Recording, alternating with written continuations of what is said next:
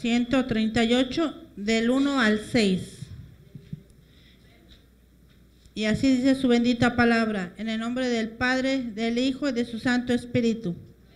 Te alabaré con todo mi corazón, delante de los dioses te cantaré salmos, me postraré hacia tu santo templo.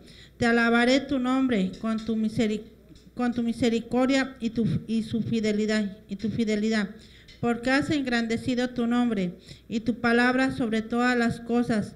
El día que te clamé, me respondiste, me fortaleciste con vigor en mi alma. Te alabarán, oh Jehová, todos los reyes de la tierra, porque han oído tus dichos, tus dichos de tu boca, y cantarán, los, y cantarán de los caminos de Jehová, porque la gloria de Jehová es grande porque Jehová es excelso y extiende al humilde, mas al activo mira de lejos. Amén, gloria a Dios, así vamos a orar. Señor bendito, en esta noche te damos gracias, bendito Padre, una vez más, bendito Señor, que nos permite estar aquí en tu casa de oración, bendito Padre. Gracias por cada una de mis hermanas, de mis hermanos, de los jóvenes, de los niños que están delante de ti, bendito Padre.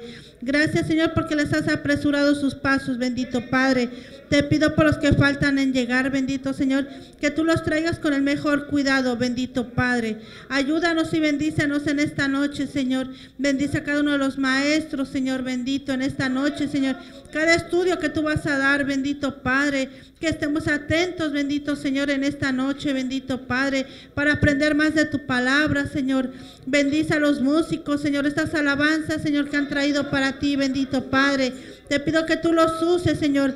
Usa los instrumentos, bendito Padre. Usa las manos de cada uno de los músicos, bendito Padre. Su voz, bendito Señor, yo te pido que tú la afines, bendito Padre. Porque todo lo que hacemos es para ti, bendito Señor porque estamos agradecidos, Señor, por todo lo que tú nos das, por este día tan hermoso que tú nos has dado, nos has guardado, nos has protegido en el trabajo, Señor. Has bendecido a nuestros hijos en la escuela, bendito Padre. Gracias te damos, bendito Señor, porque no tenemos con qué pagarte todo lo que tú nos das, bendito Padre. Gracias te doy, Señor.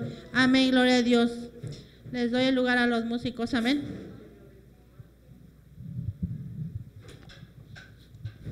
Aleluya. Que el Señor los bendiga, hermana. Amén. Vamos a cantar un corito. Aleluya. Como cayeron los muros de Jericó cuando el pueblo de Israel dio siete vueltas, así caerán los muros ante mí,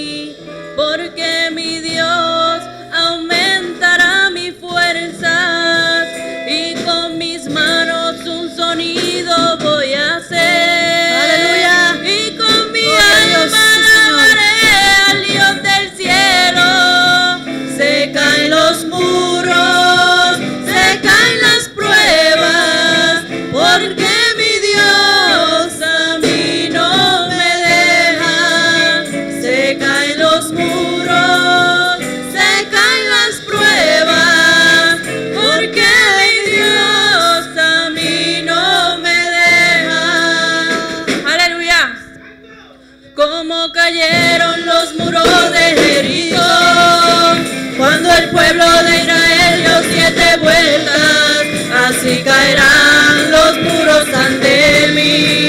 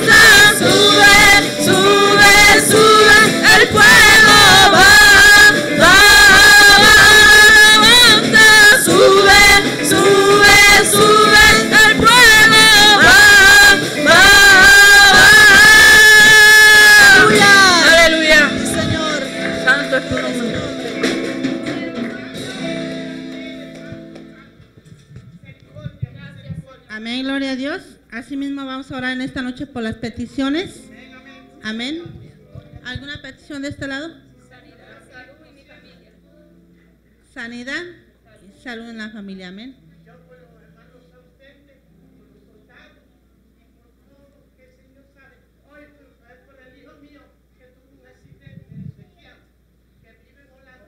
Amén.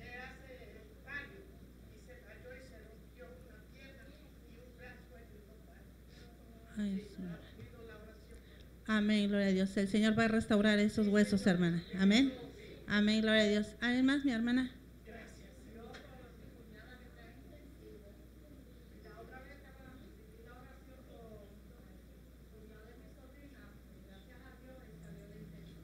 Amén. Amén, gloria a Dios. Un testimonio, ¿verdad? Amén, gloria a Dios. ¿Alguien más? Hermana. Amén, gloria a Dios. Amén. Mi hermana Ana. Amén, gloria a Dios. Amén. Amén, gloria a Dios por la salida que va a haber. Amén, gloria a Dios. Amén. ¿Alguien más? Mi hermana Zaida. ¿Alguien más? ¿De este lado?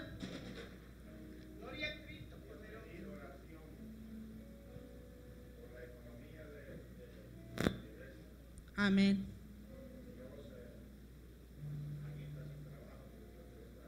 Amén.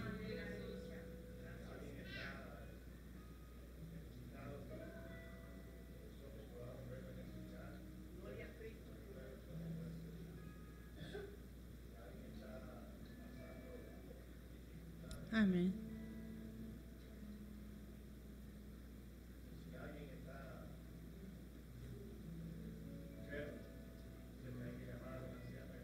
Amén. Así es.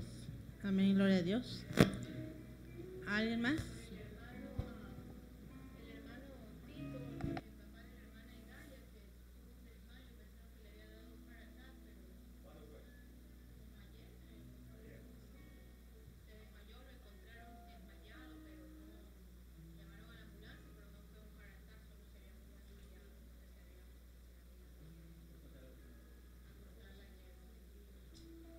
Amén.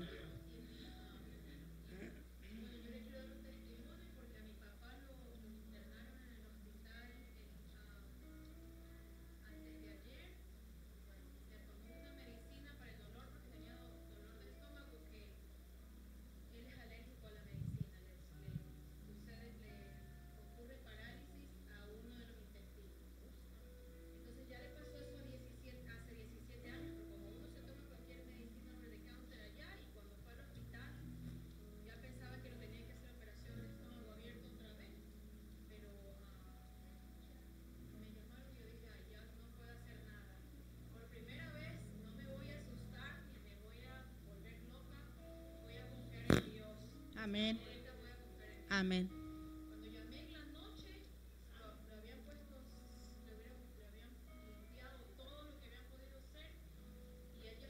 casa. Amén, gloria a Dios.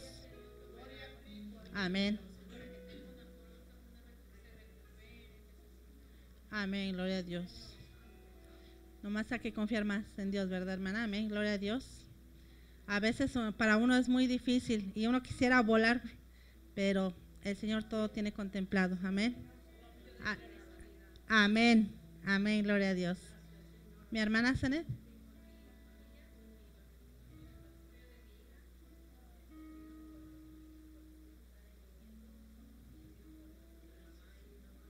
Amén, gloria a Dios. Amén. Además, de este lado? Por su esposa de mi hermana Yesmari. Que el Señor siga haciendo la obra en él. Amén.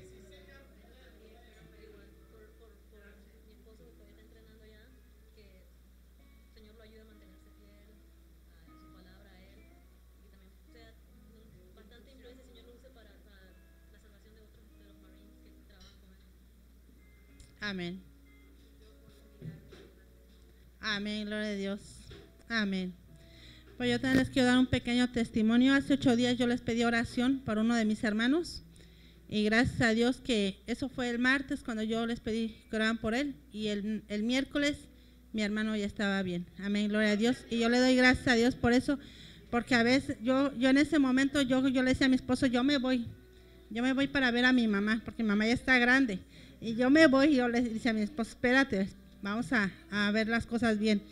Tú te vas y ¿qué hacemos aquí la familia? Pero el Señor todo tiene contemplado, hermanos, todo. Y el Señor vaya a estar sanar a su papá, hermana. Amén, gloria a Dios. Para uno es imposible, pero para el Señor todo es posible. Amén. Así mismo le pido a mi hermana Juanita que pase a orar por las peticiones. Amén. Amén, gloria a Dios. Sabemos que estamos adorando a un Dios vivo, ¿verdad? Amén, gloria a Dios. Y Él todo lo puede. Él todo tiene contemplado. Amén. Amén, gloria a Dios.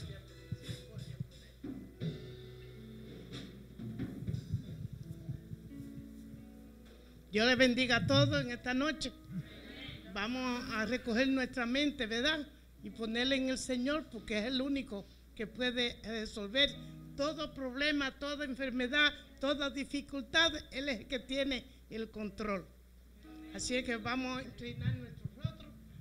Eterno Padre Celestial, en este momento venimos a ti, Padre Celestial, a darte gracias, mi Dios, por un día más de vida que nos concede, Señor, a darte gracias porque estamos en tu casa para adorarte y alabar tu santo y bendito nombre. Señor, en este momento, usted es el que tiene control de todas las cosas, mi Dios. Usted oye, oyó todas las peticiones, todos los testimonios de los que usted ha hecho, Padre. Esperamos en su misericordia que usted siga obrando conforme a su misericordia, que usted mire la condición de cada uno, Señor. Para usted no hay distancia, para usted no hay nada imposible, mi Dios. Usted conoce los corazones y la mente de cada uno. Usted sabe, Señor, cada hermano, cada eh, familia que está aquí, usted sabe que Siempre hay problemas, pero usted es el que tiene la solución de todas las cosas, Padre. Señor, mira la petición de la hermana Catalina, mira la petición de la hermana Carla Mato, Señor. Mira, su Padre, Señor, está en tu mano. Mira la petición de tu hija que ya su hermano es sanado, Padre. Así es que usted obra, Padre, conforme a su misericordia. Por eso ponemos todo en su mano, Señor, porque usted es el que tiene autoridad para sanar. Solamente diga la palabra y todo será se, sanará, Señor. No importa distancia, no importa lo que pase. Mira a nuestro hermano eh, Jorge Ortiz, Señor. Mira a tu siervo, Señor. Está en tu mano y, tú lo conoces, Padre. Tú sabes quién es Él, Padre. Él te ama y Él te adora, Señor. Cúbrelo y dale fuerza a él y a su familia, Padre Celestial. Ayúdalo a vencer, ayúdalo a seguir adelante. No lo deje, no lo desampare. Mira, Señor, en tu mano están todas las cosas. Señor, mira el viaje de la dama que vamos a salir el viernes. Señor, esperando que usted sea que dirija todo, Señor, y que podemos, Señor, venir llenos de tu Santo Espíritu. Ayúdanos cada día más a acercarnos más a ti, Señor, porque estamos en días peligrosos, Padre. Padre Señor. Solamente su misericordia, solamente su misericordia nos cubre, mi Dios. Solamente su gracia nos da fuerza para seguir adelante. Espíritu de Dios, mira a los hermanos que están ausentes, Señor. Usted sabe el por qué no están aquí. Pero yo te suplico, Padre Celestial, que usted lo visite. Y si están enfermos, usted, Señor, tenga misericordia y lo ayude a vencer. Señor, te pedimos que no te aparte, que no nos deje, Padre. Mira, Padre Celestial, los caballeros, mira la dama, mira la juventud, mira todos los niños, Señor, están en tu mano. No te aparte, no nos deje, no nos desampare. Cúbrenos con tu gracia, Padre Celestial. Señor, mira, la, mira, Señor, los pastores, Señor, su familia, Señor. Todo, Señor, está en tu mano para que usted sea el que obre a su tiempo y en, el tiempo suyo, Señor. No en el tiempo nuestro, Señor, sino en el suyo. Porque usted tiene control de todas las cosas, mi Dios. En su mano estamos esperando que usted haga la obra. Por Jesucristo tu Hijo, te lo pido. Amén y amén y amén. Gracias, Señor, gracias.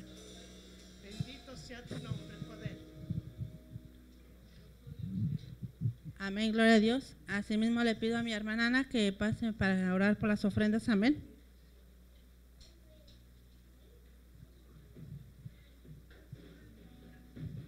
Dios les bendiga, hermanos. Que el Señor los continúe bendiciendo. Vamos a orar por los tiempos y las ofrendas. Aleluya. Señor, te adoramos, te bendecimos, te damos todo honor, toda gloria, Señor, a ti, porque solo tú te la mereces, Señor.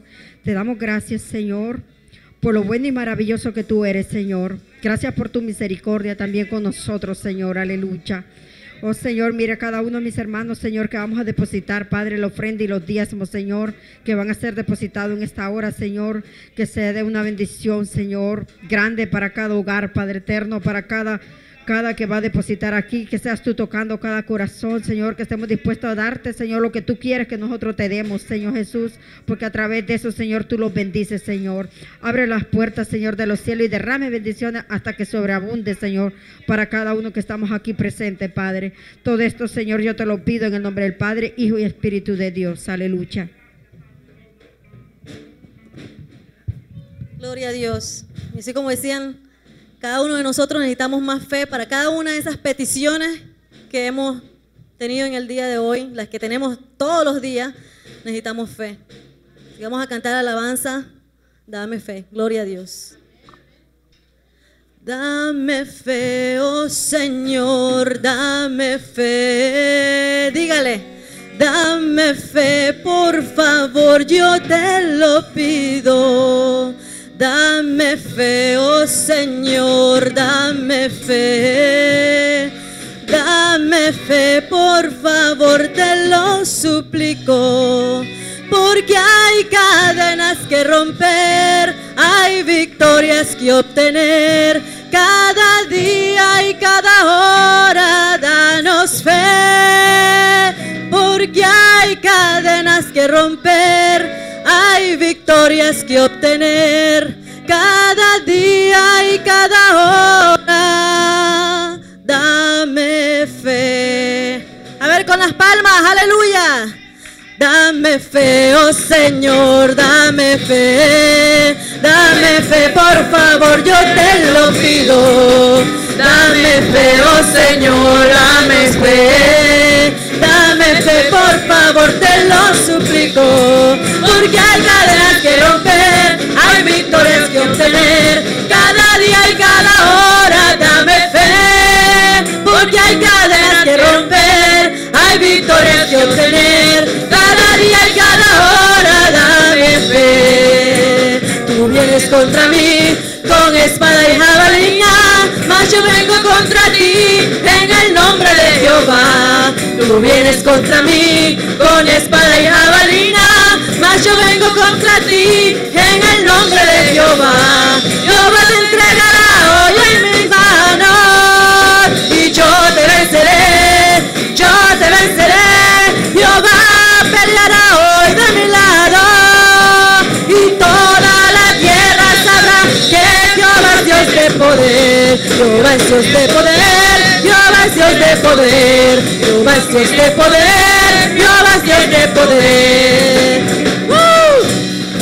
Y estarás tú velando como las diez vírgenes, estarás tú velando como las diez vírgenes. Y a la medianoche llegó el esposo y las que estaban apercibidas fueron con él. Y a la medianoche y las que estaban apercibidas fueron con él. Estarás tú velando como las diez vírgenes, estarás tú velando como las diez vírgenes y a la medianoche llegó el esposo y las que estaban apercibidas fueron con él. Y a la medianoche llegó el esposo y las que estaban apercibidas fueron con él Aleluya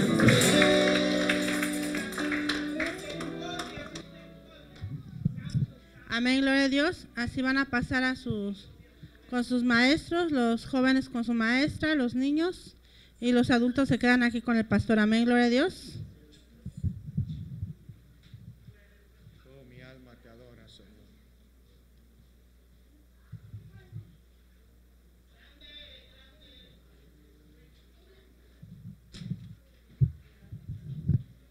Gloria a Dios.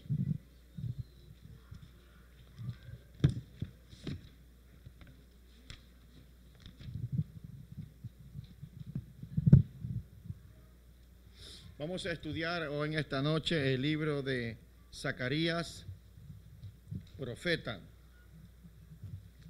Y para eso vamos a buscar el capítulo 1 de Zacarías, verso del 1 al 8. Gloria al Señor.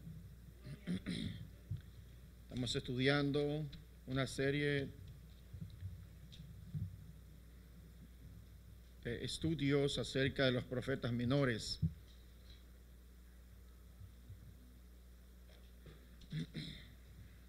Amén, gloria al Señor. Entonces dice el verso 1, en el octavo mes del año segundo de Darío, vino palabra de Jehová al profeta Zacarías, hijo de Beraquías, hijo de Ido, diciendo, se enojó Jehová en gran manera contra vuestros padres. Diles pues, así ha dicho Jehová de los ejércitos, volveos a mí, dice Jehová de los ejércitos, y yo me volveré a vosotros, ha dicho Jehová de los ejércitos. No seáis como vuestros padres, a los cuales clamaron los primeros profetas, diciendo, así ha dicho Jehová de los ejércitos, volveos ahora de vuestros malos caminos y de vuestras malas obras, y no atendieron ni, ni me escucharon, dice Jehová. Vuestros padres, ¿dónde están? Los profetas han de vivir para siempre, pero mis palabras y mis ordenanzas que mandé a mis siervos, los profetas, no alcanzaron a vuestros padres. Por eso volvieron ellos y dijeron, ¿cómo Jehová de los ejércitos pensó tratarnos conforme a nuestros caminos y conforme a nuestras obras? Así lo hizo con nosotros. A los 24 días del mes undécimo que es el mes de Sebat, en el año segundo de Darío, vino palabra de Jehová al profeta Zacarías, hijo de Beraquías, hijo de Ido, diciendo, vi de noche y aquí un varón que cabalgaba sobre un caballo alazán, el cual estaba entre los mirtos que había en la hondura, y detrás de él había caballos alazanes, overos y blancos. Amén tenemos la afirmación fundamental del libro que nosotros estudiamos. Dice que Dios le asegura a su pueblo a través de sus profetas que, que mantendrá su fidelidad hasta el tiempo postrero.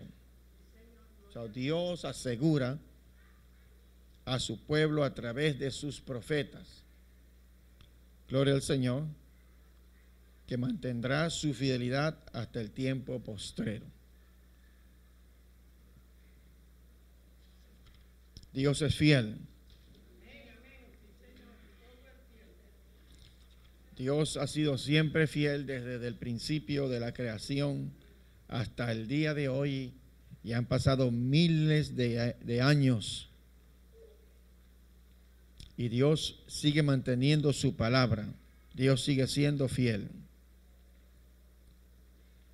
Zacarías era un profeta que ministró junto a Geo en favor de los judíos que retornaron del cautiverio de Babilonia.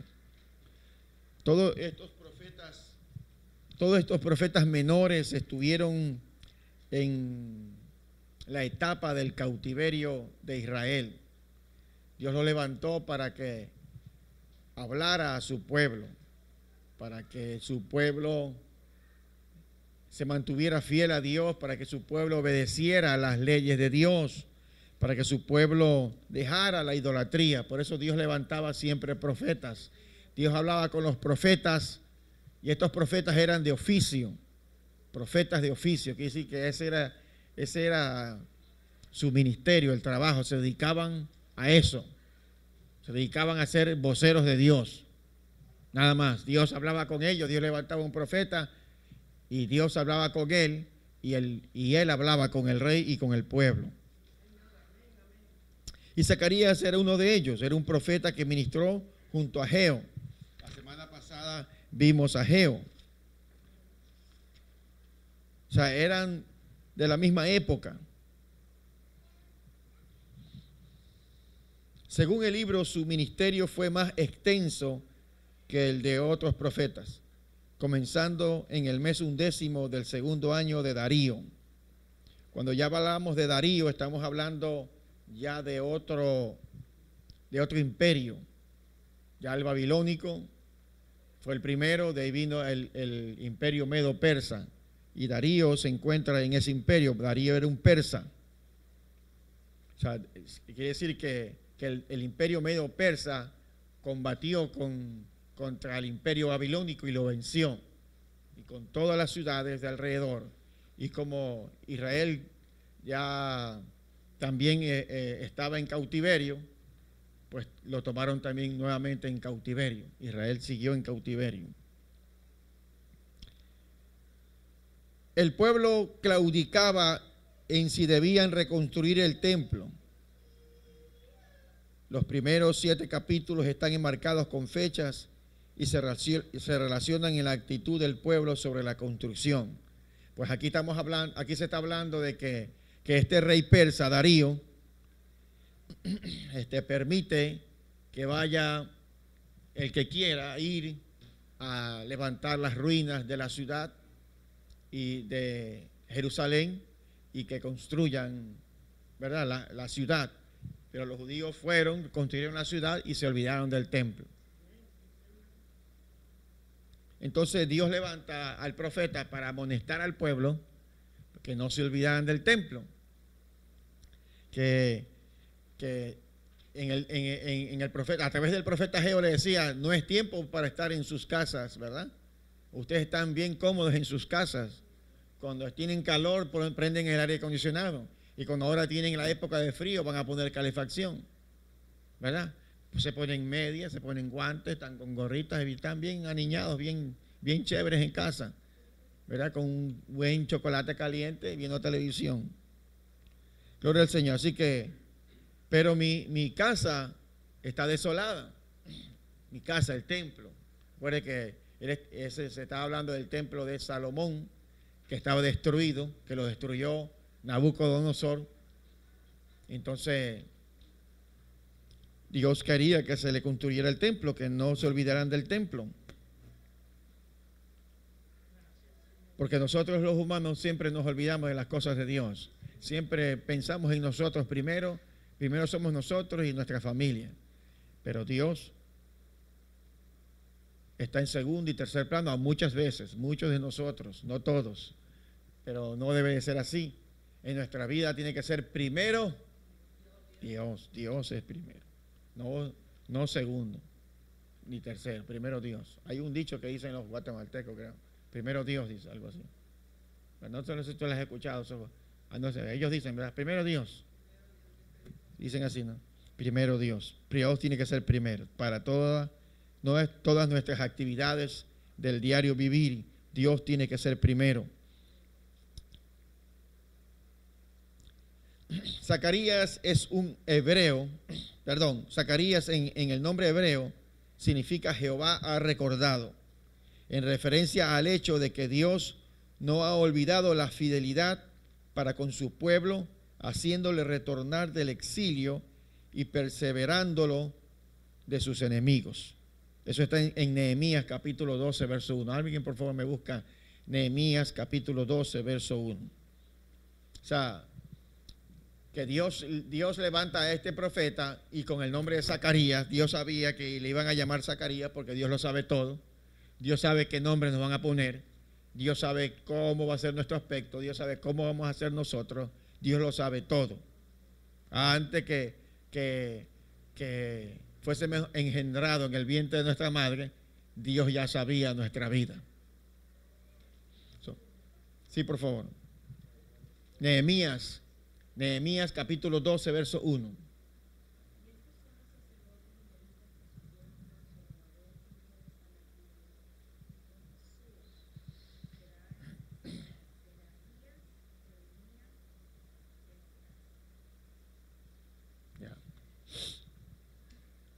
Entonces, Dios perseveró a estos sacerdotes de los enemigos. Y léeme el verso 16, de ahí mismo del 12.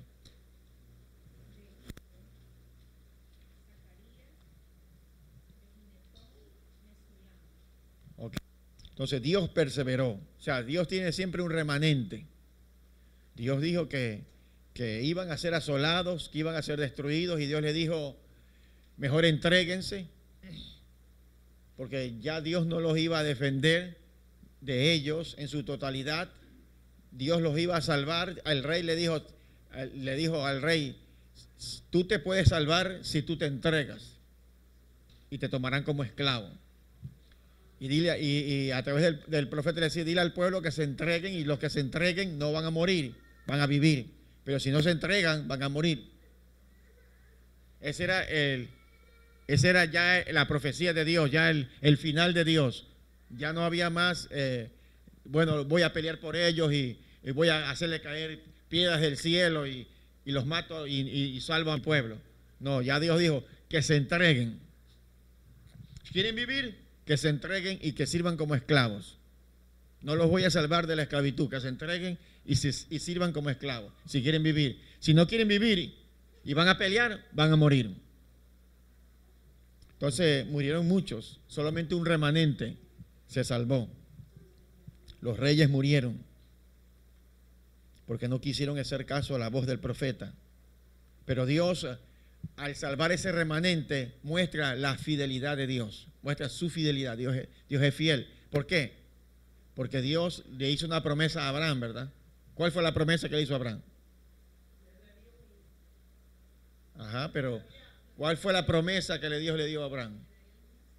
¿Cómo fue? Que llegaría a ser padre de, de multitudes, de muchedumbres. Y todas las naciones serían benditas por esa promesa, por él. él no podía destruir a su propio pueblo totalmente, exterminarlo de total. Eh, esa promesa de que Dios hizo, él la cumplió y la cumple. Dios es fiel. Dios es fiel. Entonces menciona a un sacerdote ido, ¿verdad? Ahí lo leíste, que regresó del cautiverio bajo el mando de Zorobabel y que era pariente de Zacarías. Por tanto, Zacarías era de linaje sacerdotal. El profeta recibe su primer mensaje a los dirigentes y al pueblo, retirándoles que el pacto estaba en pie. El pacto sigue en pie. Y el, y el y, que el Espíritu de Dios estaba con ellos. Sin embargo, con toda esa palabra positiva, el pueblo claudicaba. O sea, Dios le dice, Dios todavía está con, nos, con ustedes. No ha retirado, su palabra sigue en pie. Y su espíritu le dice, su espíritu está con ustedes. ¿Eh? Tremenda palabra. En medio de una desolación, en medio de tristezas, en medio de una pobreza. Ellos de, un, de una esclavitud, Dios, lo, Dios dice que despierta el espíritu de Darío. La Biblia dice que Dios despierta el espíritu del rey persa, Darío, y lo, al despertarlo lo turba y, y, le, y, deja a través de ese, de ese despertar, deja a que el pueblo de Israel se vaya. Todo el que se quiera ir, dijo, no dijo solamente una parte, todo el que se quiera ir, váyase a construir su ciudad. O sea, a veces Dios despierta el corazón de la gente impía, de la gente que no le sirve al Señor, para bendecirnos a nosotros, para bendecir a su pueblo. Dios tiene un propósito con nosotros de bendecirnos. Ese es su propósito, de ser fiel a nosotros mientras nosotros le somos fieles. Hermano, como le decía el otro día, no sirve de nada si usted ayuna todos los días. No sirve de nada si usted es bueno ayunar.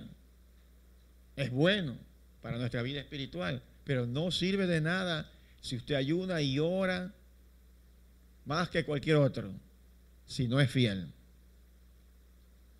Si no eres fiel, dice, en lo poco me has sido fiel. ¿Qué le dice? ¿Entre dónde? A los fieles. Porque ha sido fiel.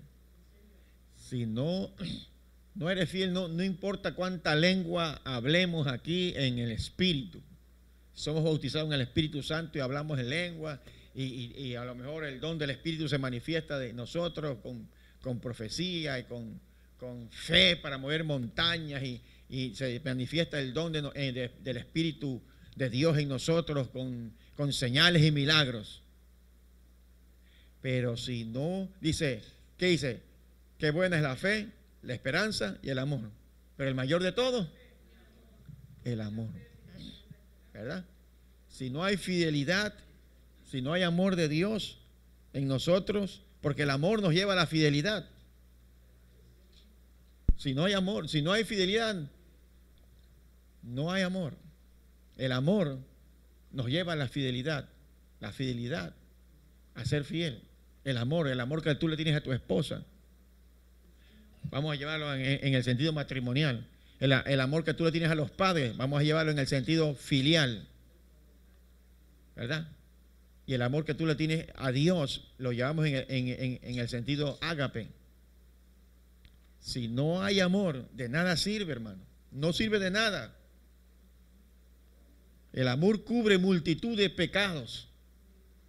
El amor cubre multitud de pecados. Dios es fiel y Dios pide que su pueblo sea fiel.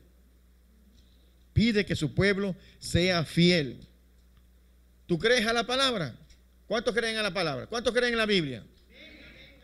¿Usted cree que la Biblia es completamente la verdad de Dios? ¿O en parte? ¿Quién cree que, quién cree que es en parte?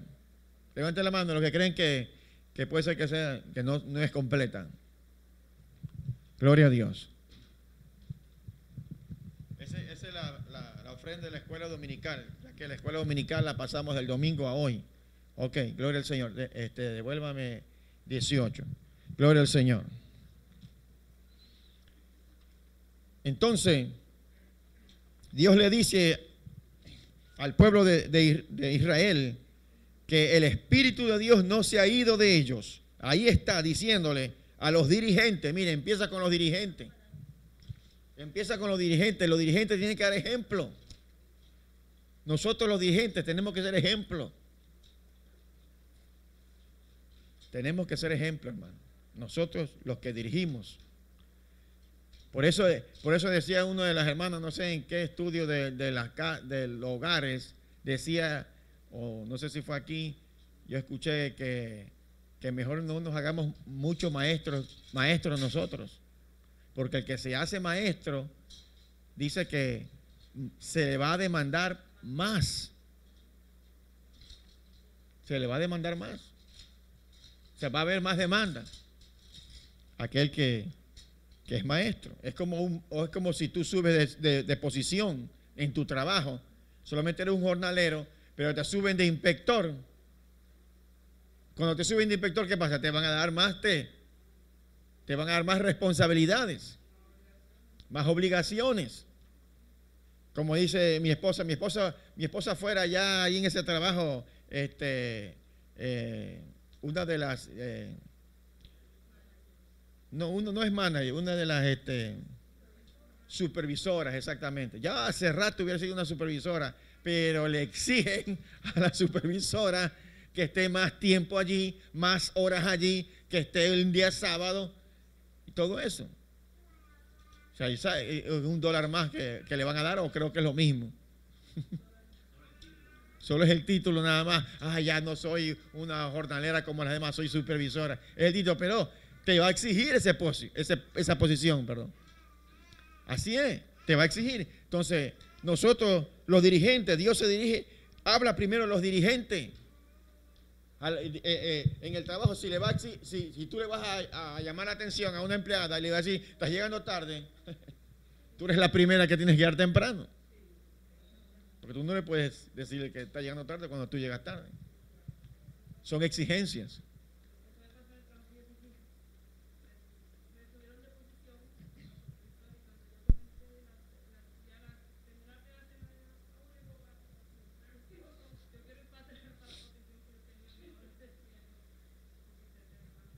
Sí, va a demandarte más. Por eso los líderes, a los líderes Dios le va a demandar más. Porque los líderes son ejemplo Los líderes tienen que cumplir, los líderes tienen que mostrar la fidelidad a Dios para que, para que el otro eh, vea que su, su líder es fiel. Gloria al Señor. Entonces dice que el pueblo claudicaba. ¿Qué quiere decir eso?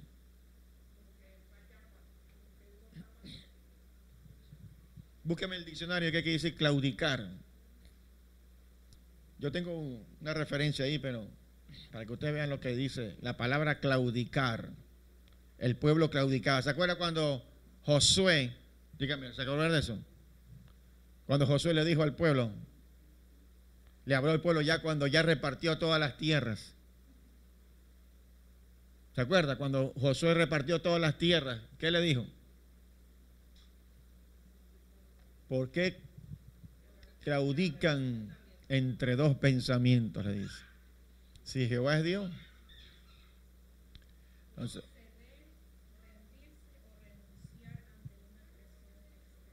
eso es claudicar. Cojear también. Dice, falta de sus deberes, principios o convicciones, flaqueza. Quiere decir claudicar. ¿Por qué claudican? ¿Por qué claudican? ¿Por qué eh, no son fieles a sus principios?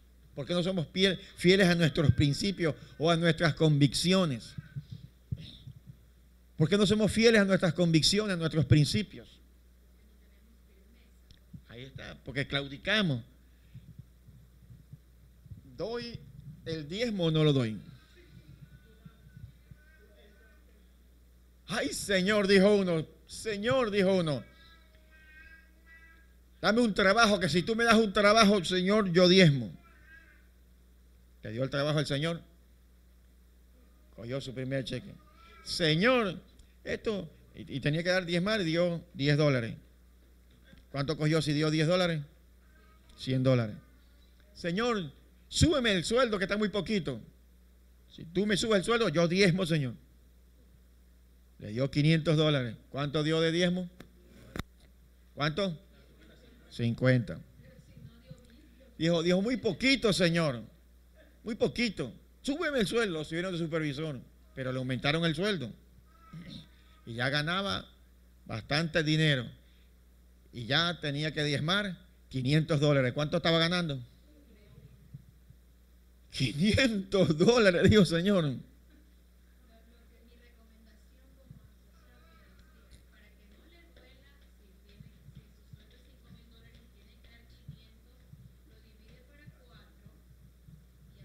Cuatro semanas.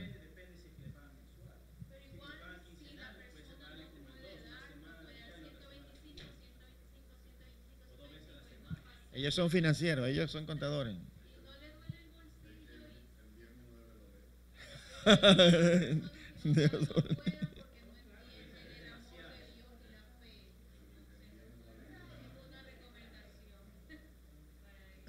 Escuche, hermano. Escuche, hermano. Escuche. Por eso es que tenemos que estar convencidos. Tiene que haber convicciones en nosotros. Tú eres salvo. Porque estás convencido de tu salvación. Porque Cristo murió en la cruz del Calvario. Derramó su sangre. ¿Estás convencido de eso? Y dígame si usted está convencido. Si no, no dígame que se callado. está claudicando. Entonces le dijo, le dijo al pastor, el hermano, pastor, estoy diezmando mucho. No sé qué hacer, no puedo diezmar tanto. Entonces, ¿qué hacemos, mijo?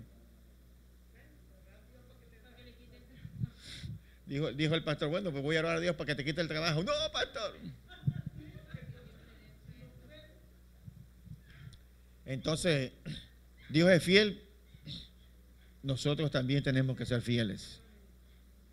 Tenemos que ser fieles en el diezmo, hermano. No, usted no puede decir, ah, yo no soy miembro de esta iglesia. Cuando usted se haga miembro de la iglesia va a diezmar.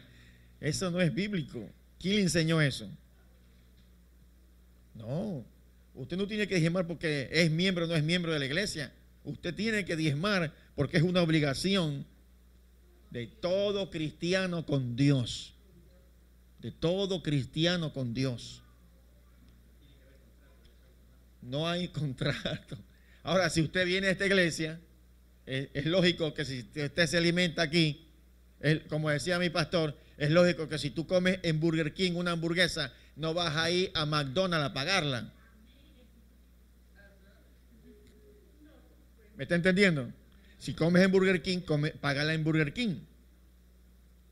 O sea, ya usted está viniendo a la iglesia, se está alimentando de la, de, de la palabra, le gusta la iglesia, está aquí, sigue viniendo, está, esta es su iglesia, esta es su congregación, para que usted crezca espiritualmente.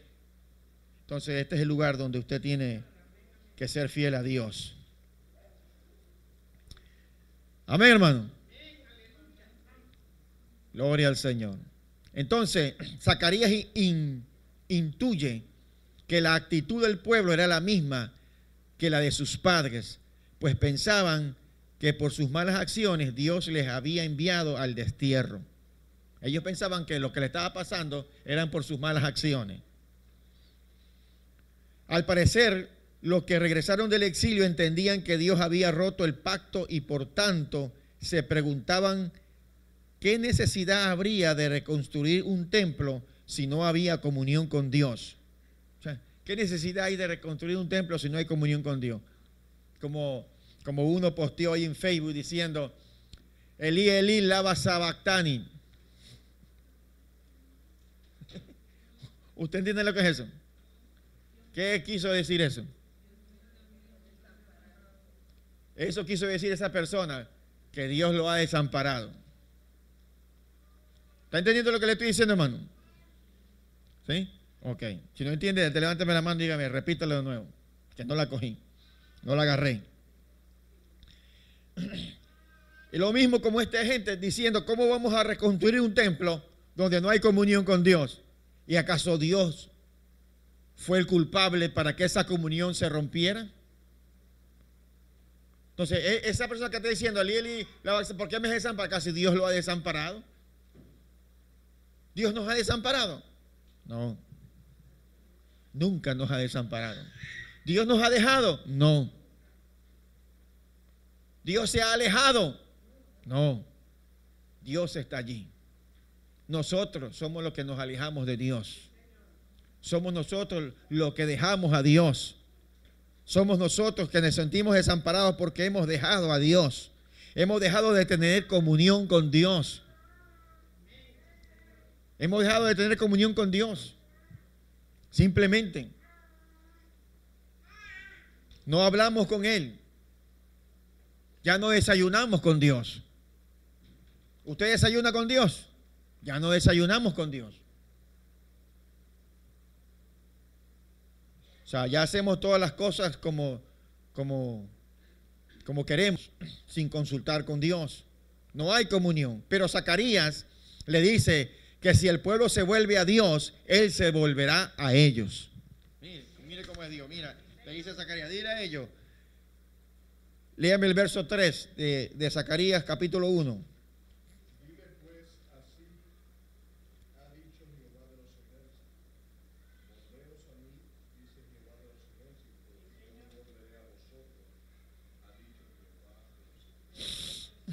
Si te vuelves a mí, yo me vuelvo a ti. Vuélvete. Vuélvete a Dios, vuélvete a mí. Ten comunión conmigo, sé fiel. No deberían ser como sus padres que desobedecieron la voz de Dios ni dudar de su voluntad para reconstruir el templo. Hay que reconstruir el templo. Hay que reconstruir el templo. Y cuando ah, en este tiempo estaban hablando de reconstruir el templo, estaban hablando en un tiempo literalmente. Dios estaba hablando literalmente de reconstruir el templo. Pero hoy en día es espiritual. Ustedes sabemos que a veces el templo hay que pintarlo y todo eso, pero eso, es, eso lo, lo entendemos. Cuando ya vemos las paredes sucias, nosotros pintamos la iglesia. Pero, pero, pero si lo traemos al tiempo de hoy, está hablando de un templo que somos nosotros. El templo espiritual. Nosotros somos el templo. ¿Usted entiende eso, hermano? ¿Usted entiende que es el templo del Espíritu Santo? Gloria al Señor. Dios no está, Dios no está en las cuatro paredes, hermano. Dios no habita, dijo Pablo, ¿verdad? Dios no habita en templos hechos por manos humanas.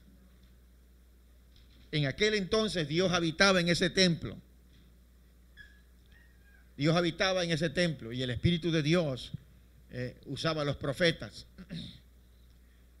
Dios eh, eh, tocaba a los reyes, como en el tiempo de Saúl. Saúl fue lleno del Espíritu Santo, ¿verdad? Y fue, fue transformado en otra persona. ¿Se acuerda de eso? El mensaje de un domingo. Que, el, el Espíritu de Jehová vino sobre Saúl. Y cuando vino el Espíritu de Jehová sobre Saúl, dice que fue mudado en otra persona.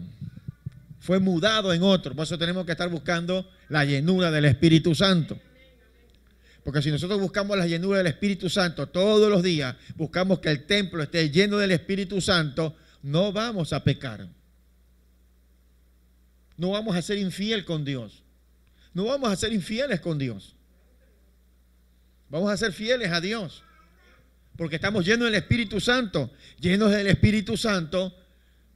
Quiere decir que, que vamos, vamos a escuchar la voz de Dios. Porque Dios, Espíritu Santo, Dios ¿Usted cree que Dios es el Espíritu Santo? ¿Usted cree que Dios es Espíritu Santo? Dios, Espíritu Santo, Espíritu Santo, Dios que habla, que piensa, que camina, que dice, que dirige. Dios, Espíritu Santo, habita en su templo, que somos nosotros. Y si Dios, Espíritu Santo, habla, piensa, camina, está en nosotros, aleluya, va a hablar con nosotros. No vas a dirigir, cuando tengamos esos momentos de ansiedad, el Espíritu Santo va a controlarlos. Cuando tengamos esos momentos de, de explosión, de nervio, de coraje, el Espíritu Santo está en nosotros que nos va a ayudar para medirnos. Amén, hermano. Dijo Elías, el profeta Elías, en el tiempo del profeta Elías, dijo, traer piedras, ¿verdad? Él dijo, traigan las piedras que vamos a, construir el altar. ¿Verdad? Traigan piedras y, él comenzó a construir el altar. Gloria al Señor. Acercaos, después le dijo, después que estaba construido el altar, acercaos.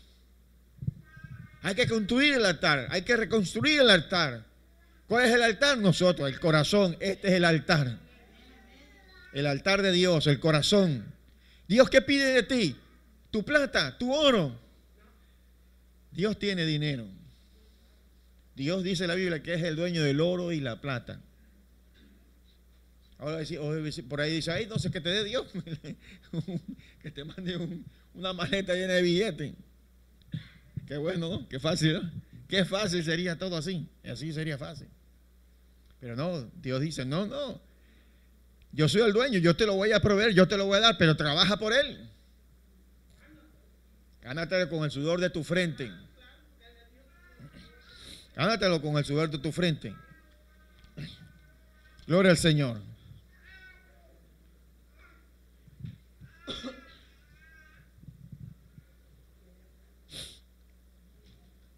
Entonces vemos en, en, eh, en, este pasaje de Zacarías, ya vemos en el capítulo 2 una serie de visiones que él tiene. Esta sección contiene ocho visiones y una acción simbólica dada al profeta y donde intervienen agentes celestiales para hacer entender las mismas. Las visiones ocurrieron la noche del mismo día 24 del mes undécimo del segundo año de Darío, unos tres meses después de la amonestación dada en Zacarías. El propósito del mensaje era animar al pueblo para que no tuviera temor ya que Dios les aseguraba que Él tenía todos los asuntos bajo su control. En la primera visión, eso lo vemos en el, en el capítulo 1, verso 7.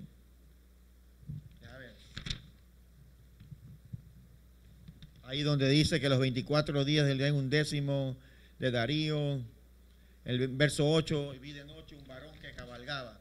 Ahí empieza, hasta el verso 17 se presentan cuatro jinetes montados en caballos con colores rojo, blanco y pinto. Aparece también un ángel o mensajero celestial que sirve de intérprete.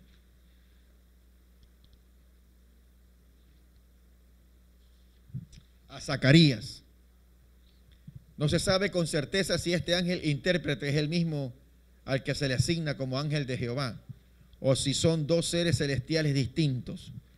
A la pregunta de Zacarías de quiénes eran esos jinetes, el ángel intérprete que estaba entre los mirtos delante del jinete portavoz en el caballo rojo, le respondió que eran los agentes que Dios había enviado para recorrer la tierra, es decir, los cuatro puntos cardinales en que se distribuía el vasto, el vasto imperio de Media y de Persia.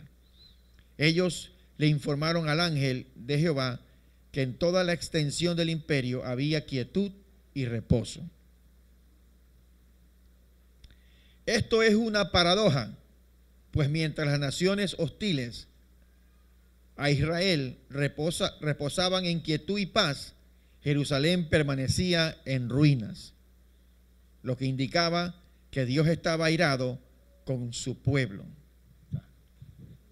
Había ruinas en Jerusalén todavía y su pueblo no hacía lo que Dios le mandó, le mandaba hacer. Su, su, ciudad, Jerusalén, todavía permanecía en ruinas y aún el templo, el templo no era reconstruido, todavía no lo construían.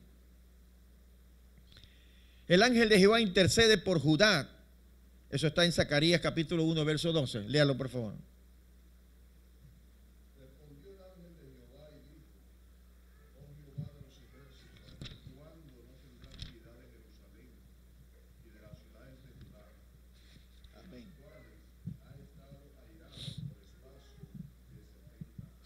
Los 70 años de cautiverio.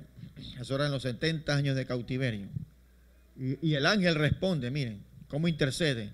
¿Hasta cuándo le dice? No tendrás piedad Jerusalén y las ciudades de Judá.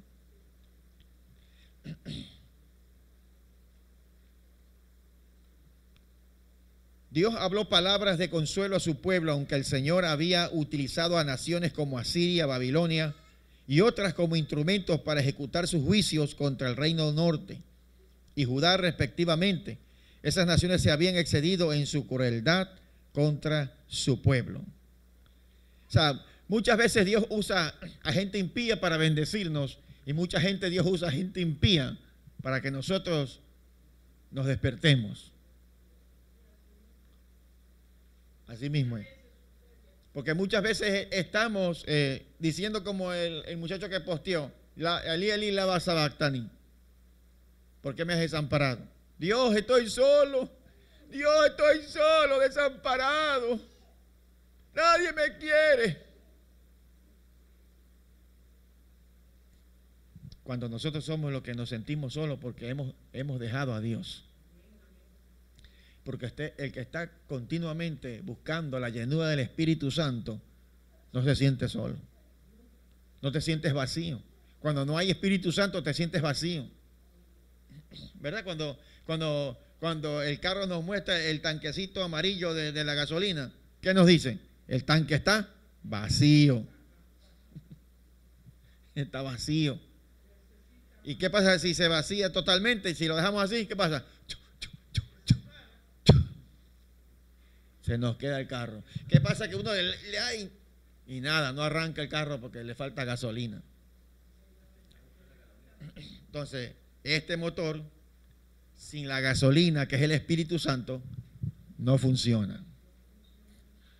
No corre, no avanza, no piensa. Cometemos errores, cometemos locura.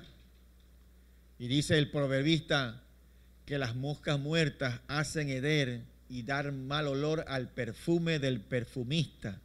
Así una pequeña locura al que es estimado como sabio y honorable.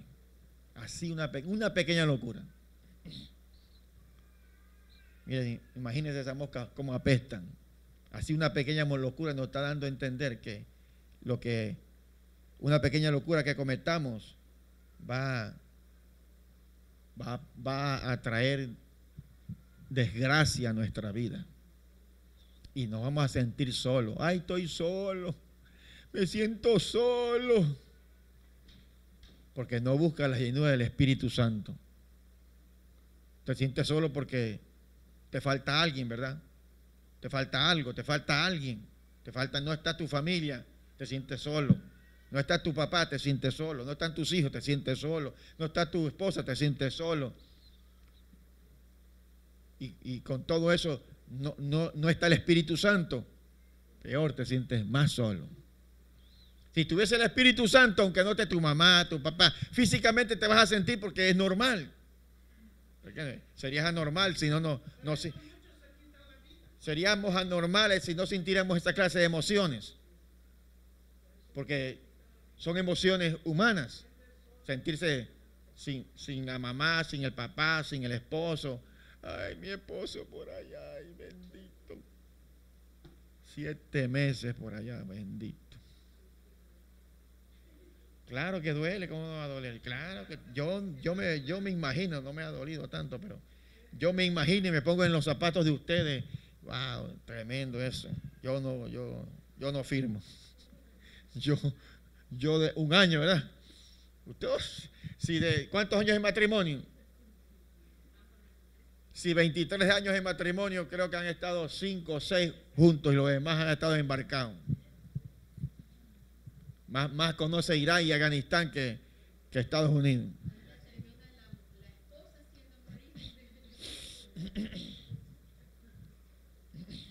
Bien difícil, bien difícil.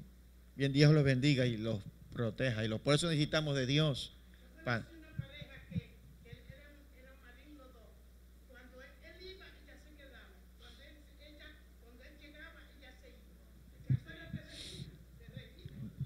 Ajá, sí me acuerdo se, veían simplemente un mes.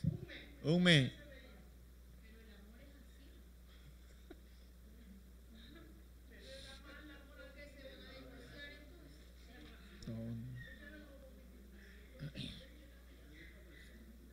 Es que así, cuando se está así, ocurre y no está Dios, hay mucha infidelidad. Por más que que se trabaje en el matrimonio, en esa, en esa, en esa. Nosotros vimos, nosotros palpamos, nosotros estuvimos ahí y hubo infidelidad.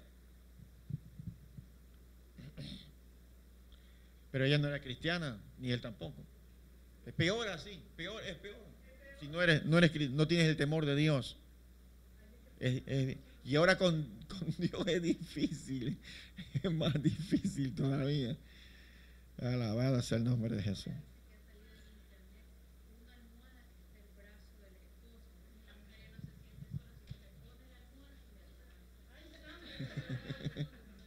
Eso tú tienes. Tienes que comprarlo. Dios bendiga a estas mujeres y, a estos varones también que... Pero alguien tiene que ir a, los militares, ¿no? Vayan ustedes, yo no voy.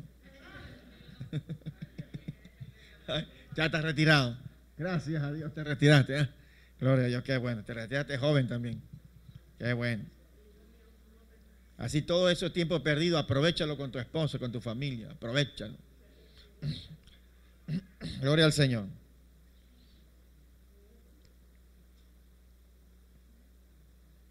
Entonces, de hecho, Babilonia fue el látigo de Dios contra Siria, mientras que Media y Persa lo fueron contra Babilonia. O sea, porque la historia es que Israel estaba cautivo en Egipto, después fue cautivo con, con Asiria, de Asiria pasó a Babilonia, de Babilonia pasó a Medio Persia, de Medio Persia pasó a los griegos y de los griegos terminaron con los romanos. Y después de eso llegó el tiempo de Hitler y de allí decidieron que tenían que retornar a su tierra, porque también era profecía de Dios que tenían que regresar a su tierra regresaron a su tierra y desde allí no han sido, que yo he escuchado, o la historia lo ha dicho, no han vuelto a ser esclavos más. Y Dios los tiene allí y, después de eso vendrá el anticristo, Dios, eh, Jesús descenderá al monte de los olivos, se partirá en dos, les predicará a los judíos. Gloria al Señor, aquí está, este es el Mesías, soy Jesús, yo soy Dios. Aleluya. Los judíos tendrán, muchos aceptarán, otros no, no sé. O, todavía seguirán esperando al Mesías. Con todo y eso. Los juicios de Dios contra esas naciones significaron abundancia de bendición para Israel. O sea, Dios pelea por nosotros. Dios defiende. Aún, imagínense, el pueblo de Israel era infiel, Dios permanecía siendo fiel y ese remanente lo defendía. Lo defendía. Porque hasta el día de hoy no era Israel ninguna nación, no había, eh, cuando terminó la Primera Guerra y la Segunda Guerra Mundial con Hitler, este, los judíos eh, estaban en Europa, todos los judíos estaban en Europa, pero nadie, ninguna de esas naciones los quería. Vivían en, ah, levantando campamentitos de carpas en, los parques y nadie los quería, los judíos. No tenían, no tenían una nación. Eh, si eran judíos, fueron a Hungría, no, no se sentían húngaros, no eran, no eran húngaros, no. Aunque, aunque muchos nacieron, pero que nacieron en los campos de concentración, pero los niños los mataban. Hacían experimentos con, a las mujeres las violaban y las mataban. No sé si usted ha visto las fotos. Dios bendiga a los judíos, Padre. En toda parte del mundo, Dios bendiga a su pueblo. Bendiga a Israel para que Dios lo bendiga. Y ahí se idearon, dijeron, no, no puede suceder esto, tenemos que tener una nación. Y ellos comenzaron a regresar, una parte regresaron a, a Palestina. Todo eso era llamado Palestina por un rey romano, un emperador romano, perdón, le llamó a toda esa tierra Palestina. Y los judíos regresaron a la Palestina y ahí se tuvieron su tuvieron un lugar, un pedazo le dieron para que ellos vivieran, pero siguieron viniendo judíos y, en aquel entonces estaban los ingleses eh, con los eh, eh, con los árabes pero los ingleses eran los que dominaban, eh, eran los que dominaban esa, esa extensión, esa tierra, y no dejaban que los barcos de los judíos que llegaban de Europa que entraran. Llegaban, les daban los primeros siglos y los mandaban nuevamente. No querían que entraran. Gloria al Señor, pero ah, la historia cuenta que ellos comenzaron a entrar eh, y comenzaron a, a, llegar más judíos a Palestina. Gloria al Señor, pero esa es la historia, sacamos el libro. Gloria a Dios. Porque es preciosa la historia de la tierra, del pueblo de Dios. Cuando usted estudia la historia del pueblo de Dios y entonces se emociona y, ve, ve que, que, no eran nación, no eran nada, no tenían dónde vivir. Llegaron a su tierra y tuvieron muchos conflictos con los árabes, se peleaban entre ellos. Eh, eh, los ingleses dejaron, dejaron de ministrar y se fueron. Y cuando dejaron de ministrar los árabes, le hicieron la guerra a los judíos. Y los judíos de, dónde sacaron armas no sabemos, pero tuvieron armas para pelear, lucharon y vencieron. Y después se, después se reunieron los países, recuerde, que se unieron los países para formar las Naciones Unidas. Formaron las Naciones Unidas y, las Naciones Unidas les, permitió que Israel tuviera un pedazo de esa Palestina. Y cuando Israel permitió que, eh, perdón, las Naciones Unidas tuvieron ese pedazo, al otro día Israel se levanta y dice, somos una nación. Se independiza y levantan su bandera, somos una nación. Y cuando se levanta eso, los judíos nuevamente, digo, los árabes nuevamente atacan a los israelitas. Y Israel los vence. Nunca perdió Israel. Y ahí, ahí, pelearon, ahí, ahí contra Israel peleó Egipto, peleó el Líbano, peleó Irán, peleó este, otras, otras naciones, que no me acuerdo ahorita el nombre, de, los países árabes contra Israel. Israel venció. Y comenzaron a coger, y comenzaron a ganar tierras. Cogieron los altos del Golán, cogieron la, franja de Gaza, un pedazo, aunque un pedazo todavía tienen los árabes. Eh, eh, tomaron, si usted ve el mapa, la mayoría ahora mismo en Palestina es de los judíos. Y hay muchos asentamientos de los árabes que están peleándose todavía. Los judíos quieren, quieren quitarle todas esas tierras, porque esas tierras son las tierras prometidas. En el 48, sí, mi hermano, 1948. Entonces, Dios pelea por nosotros, Dios nos defiende, Dios nos defiende cuando vienen tiempos eh, de sequedad, por ejemplo, usted puede estar diezmando y, está escaseando el trabajo. Y usted dice, pero bueno, estoy cumpliendo con Dios, estoy siendo fiel, estoy diezmando y no tengo trabajo o me están cortando horas. ¿Me están entendiendo? ¿Me están entendiendo, hermano? No quiere decir que, que usted esté pasando eso porque usted no está cumpliendo con Dios. Usted está cumpliendo con Dios. Y Dios va a cumplir con usted. Dios permite que eso suceda para que usted se mantenga fiel a Dios. Y Dios, Dios va a orar. Dios es temporal. Es lo temporal. Nada más. Pero Dios va a traer su ángel. Dios le va a dar consolación. Dios le va a dar seguridad. Dios le va a dar firmeza. Dios le va a dar convicción en medio de esa flaqueza. La segunda visión, vemos en el capítulo 1, verso 18, 21. No lo vamos a leer porque el tiempo avanza, ¿ok? La segunda visión presenta cuatro cuernos y cuatro carpinteros, la cual le da continuidad a la visión anterior. Los cuatro cuernos en esta visión representan las naciones que dispersaron a Israel y Judá, las cuales están esparcidas por los cuatro puntos cardinales. Algunas que pudieran ser mencionadas son Asiria, Babilonia, Medio Persa, otras naciones más pequeñas que colaboraron con estas, Edom, Moab, Filistea y hasta Egipto. Pues siempre pretendió ser una fuente de ayuda para el pueblo de Dios. Pero a la hora de la verdad resultó ser un fraude. Los carpinteros representan a aquellos agentes que Dios utilizó para castigar las naciones que dispersaron a Israel, como las que ya se mencionaron en el párrafo anterior. Por eso, por eso la Biblia dice que si tú haces tropezar a uno de mis pequeñitos, ¿qué pasa? ¿Qué le pasa a esa persona? Ustedes que, ustedes que leen la Biblia.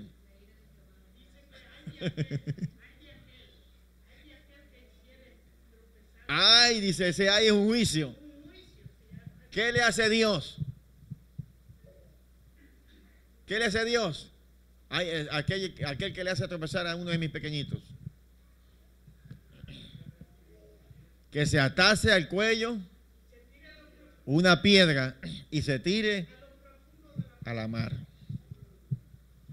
Eso, eso dice Dios. Aquellos que hacen tropezar a uno de mis pequeñitos. Nosotros somos sus pequeñitos. Aquellos que se meten con nosotros. ¿Se meten con quién? Con Dios.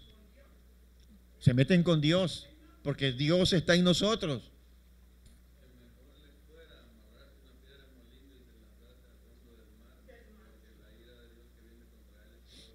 es peor que eso. Por eso digo, Dios pelea con nosotros, Dios pelea por nosotros.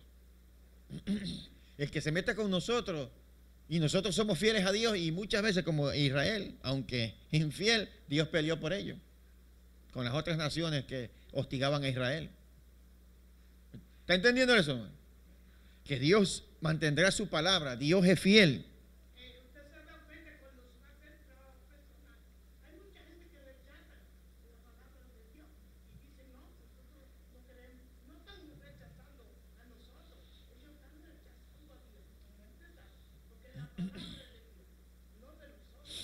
La tercera visión muestra a un ángel con un cordel para medir a Jerusalén.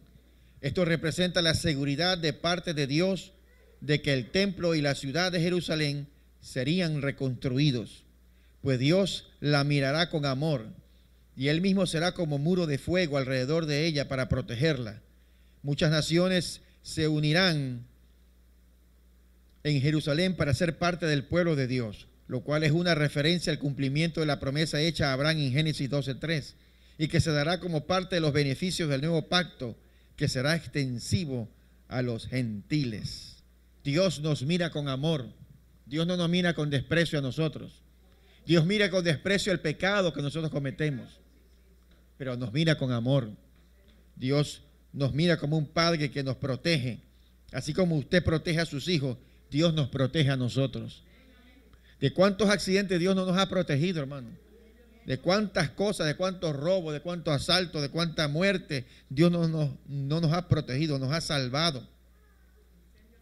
La cuarta visión está en el capítulo 3, verso 1 al 10. Presenta al sumo sacerdote Josué con vestiduras viles. El Satán está a su diestra para acusarle ante Dios, pero Josué tiene al ángel de Jehová como abogado defensor. Gloria al Señor.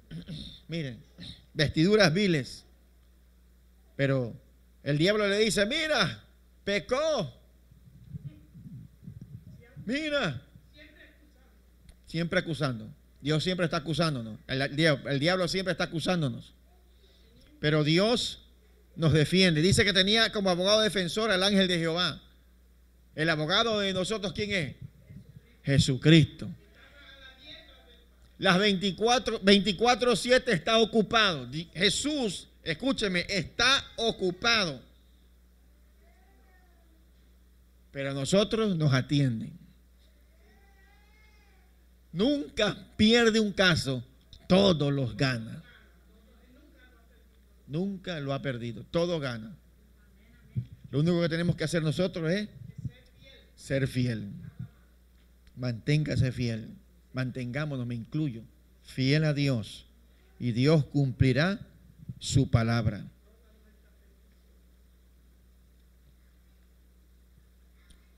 De la misma forma como Dios perdonó y restauró al pueblo, así también hizo lo mismo con el sacerdocio, que había caído en desgracia. En esta visión se intercala una profecía sobre el renuevo, que, parece, que, aparece también en los capítulos 6 y 9. Habla de una piedra sobre la cual hay siete ojos que han sido puestas delante de Josué. Esta es la piedra fundamental de la, construcción del templo. Y Josué junto a Zorobabel echado el cimiento. Gloria al Señor. Esa es la piedra. ¿Cuál es la piedra para nosotros? Jesucristo es la piedra. Jesús es la piedra que los edificadores rechazaron. Si usted se mantiene en la piedra, que la roca, que es Cristo, vamos a mantenernos fiel. Usted debe, de, dice, echar los cimientos, nuestra fe, nuestra vida, nuestra confianza, son los cimientos. ¿En quién? En esa piedra, en esa roca.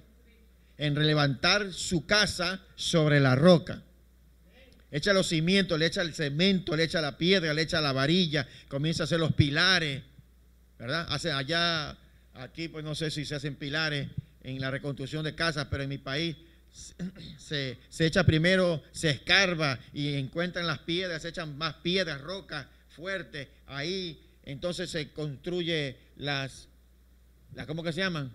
La fundación, exactamente, se construye la fundación, las zapatas, y después de que se construyen las fundaciones, entonces, ¿verdad? Se echa el cemento y después se levantan los pilares. Pero antes de levantar los pilares se construye con hierro y se lo pone allí, se lo coloca, se pone una caja de, madera y ahí comienza el cemento a entrar a los pilares para que cuando ya esté bien seco se sacan las tablas y se quedó el pilar. yo también soy constructor.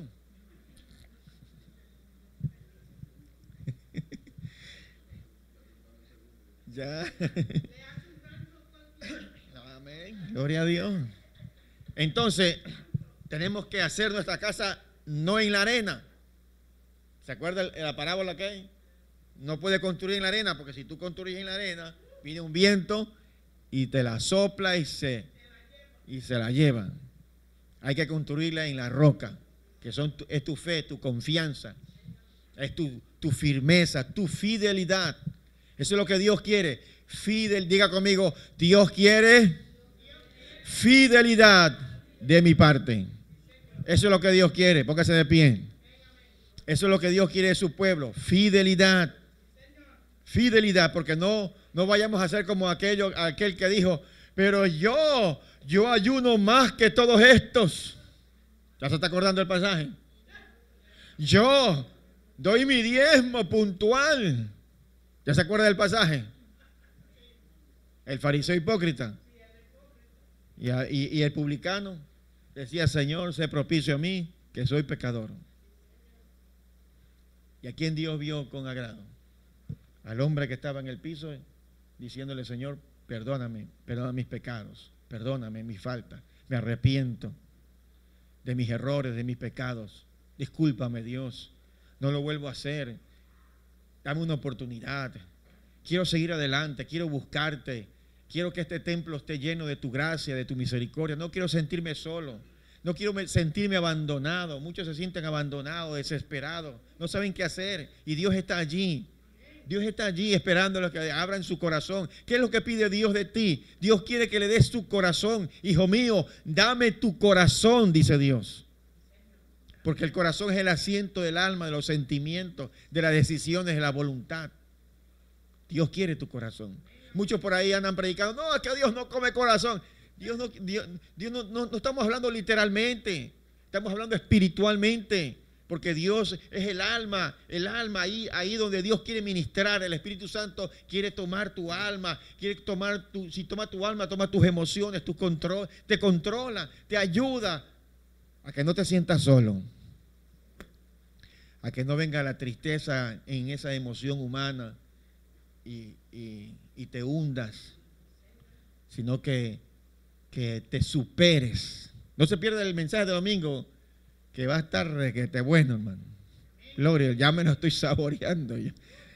Aleluya. Así que, hermano, eh, recapacitemos, pensemos, busquemos a Dios, seámosle fieles.